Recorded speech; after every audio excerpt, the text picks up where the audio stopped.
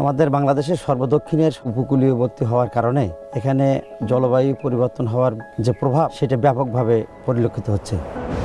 আইলার সময় এইসব ঘর বাড়ি কিছু ছিল না সব ভেঙে গেল। তখন জল খালি ওই পেটের অসুখ হতো আমাশা হতো ডায়রিয়া এইসব হতো। পানির কষ্ট বহুত দিন করেছি। মিষ্টি জলের পুকুর সব একদম বুড়িয়ে নোনা এলাকার হয়ে গেল। An environmental NGO. We are installing the different type of technology to reduce the drinking water scarcity.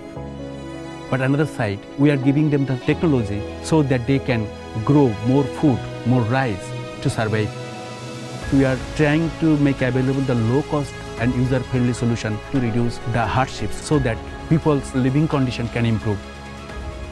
পরিবারের সবাই ভালো আছে ভালো আছে এখন এই এখন জল হচ্ছে গিয়ে পরিবর্তন হয়েছে the price we will expand our activity in the similar water crisis area in the southwest coastal Bangladesh.